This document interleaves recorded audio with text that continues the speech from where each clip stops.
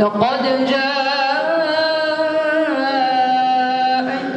رسول من أنفسكم عزيز عليه ما عنتم حريص عليكم بالمؤمنين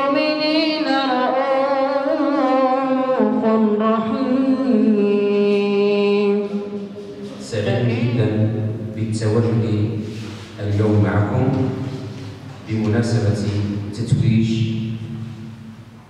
ثلة من التلاميذ الذين حصلوا على معدلات جيدة وهي مناسبة كذلك من أجل أن يحدو بقية التلاميذ حذو المتوجين بطبيعة الحال هذا موسم موسم الحصاد أو موسم ما زرعناه منذ بداية السنة. فهذا التتويج الذي نحن اليوم بصدده أو في هذه الأمسية هو تتويج لحصاد الأسس الأول.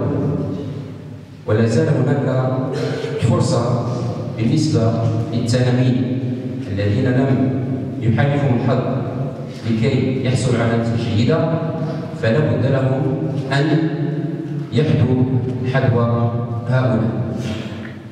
كما تعلمون كذلك أن القسم الداخلي له أهمية خاصة بالنسبة للوزارة أو بالنسبة للمديرية والأكاديمية وكذلك حتى المؤسسات التعليمية والأخص بالذكر الثانوي الإعدادية على الفسيح وعلى فأصبحت في حلة جديدة بجميع مرافقها ونحن كذلك مجندون من أجل خدمة هؤلاء التلاميذ سعيد كذلك بتواجدي في الحفل من أجل تتويج ثلاثة الاكباد بمناسبه نتائج المحصل عليها في هذه الدوره الاولى. هذه المؤسسة كما تعلمون هي أول مؤسسة بالمدينة في الثمانينات وقد أعطت رجالات ونساء كثر في شتى المجالات في مجال التدريس وفي مجال آه، تسيير الإدارة خطر كثر تخرجوا من هذه المؤسسة. فأنتم بطبيعة الحال جيل المستقبل. أو رجال المستقبل. فما عليكم إلا أن تحموا وحدوا كل الأطر كل الرجالات والنساء الذين يخرجوا من هذه المؤسسة. فبهذه المناسبة أود أن أشكر باسمكم جميعا وباسم آبائكم وأمهاتكم الصاهرين على هذه المؤسسة التربوية مديرا وإداريين وأساتذة ومساعدين وكل العاملين بهذه المؤسسة. وما يميز هذه المؤسسة عن باقي المؤسسات الأخرى المتواجدة بالمدينة وبالإقليم بصفة عامة هو النتائج المحصلة عليها وكذلك الاستقرار والجو العام الذي يعني يسود هذه أو يدور داخل هذه المؤسسة التربوية. قسم داخلي ورجل طيب صراحة. معروف السمعة ديالو في المدينة الكل يتمنى أن يلتقط معه صورة. شي غير يسمع. وباقي زملائه في هذه الأندية صراحة نحن لا نجاملهم كجمعية ولكن نشتغل معهم في أريحية. في أريحية وهي اللي خلاتنا جالسين معهم.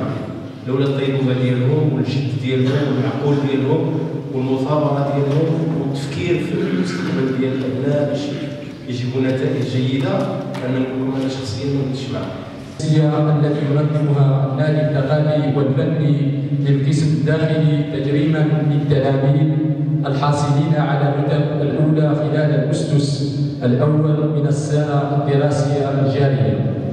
وتشجيعا لهم للمضي قدما على درب الجد والاجتهاد والجد والمثابرة من أجل الحصول على نتائج أحسن في مستقبل الأيام إن شاء الله.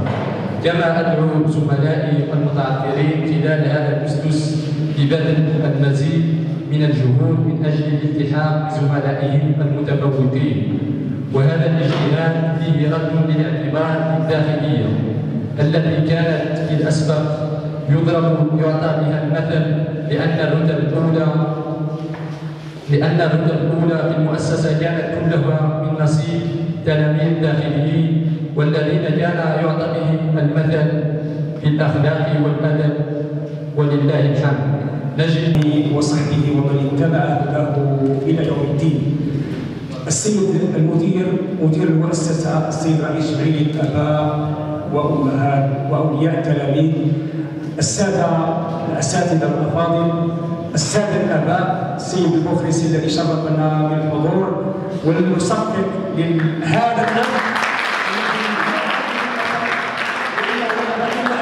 أن يشاركنا فرحتنا هذه ونحن نتمنى مثل هؤلاء الآباء ونتمنى أن يكون دعمه مستمرا لأن من خلال النتائج أو النتيجة التي حصل عليها ابنه نشجعه مرة أخرى ونصدق للمخلصين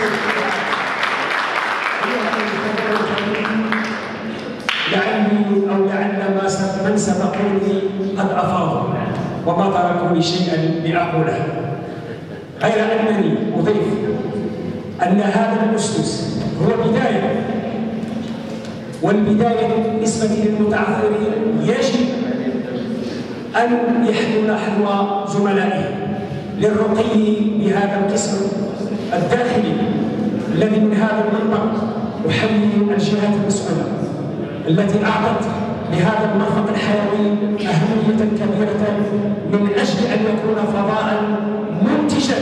فضاء ليس فضاء استهلاكيا إنما فضاء منتجا. لينتج النتائج كما ذكر زميلكم النتائج الإيجابية المفرحة التي كان يحققها سلفكم السابق. أشكر الجميع على حضوره ولا اطيل الكلمة. والسلام عليكم ورحمة الله تعالى بحقي اسمه وما هي الخبر يا سيد القاضي. الركن الأول الركن الثاني من الجملة الإسمية. أشكل مع رفيقي مبتدأ الجملة الإسمية. عظيم فما شكوى كيدا؟ كنت جالسا أنا ومبتدأ فتسامر فجأة دخلت علينا كان وأخواته فماذا فعلوا بكم؟ أخذوني يا سيادة القاضي. أنا فقط دون المبتدأ. وغيروا من شكلي يا سيادة القاضي. كيف لا ولم غيروا شيء لا أدري يا سيادة القاضي. ولكن أنا والمبتدأ دائما مرفوعان حتى دخلت علينا هذه وأخواتها فأخذوني ونصبوني. بسم الله العلي العظيم ألا أقول إلى الحق. بسم الله العظيم أن أقول إلى الحق. ما جاء على لسان خبر حدث بالفعل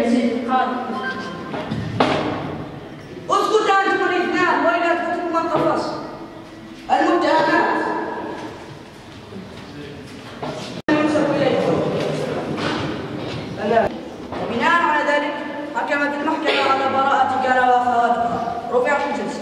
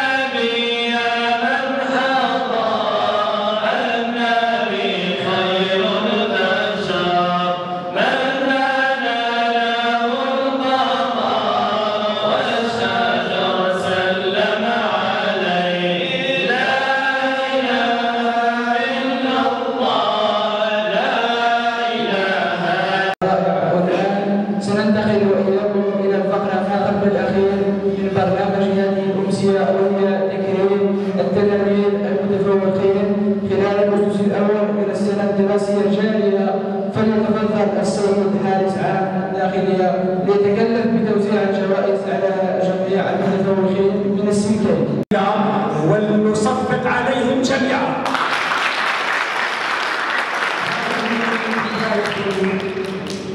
من أجل الاجتهاد وعنوانها الاجتهاد فقط.